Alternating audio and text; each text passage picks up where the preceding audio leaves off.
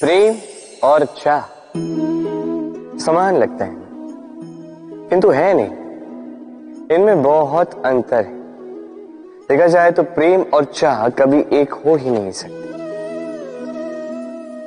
अब यदि मैं आपको उदाहरण दूँ, यदि आप इस पुष्प को चाहते हैं तो आप इसे इसकी डाली से तोड़कर अपने पास रखें। किंतु यदि आप इससे प्रेम करते हैं तो आप प्रतिदिन आकर इसकी जड़ों को जल देंगे ताकि ये और खिले।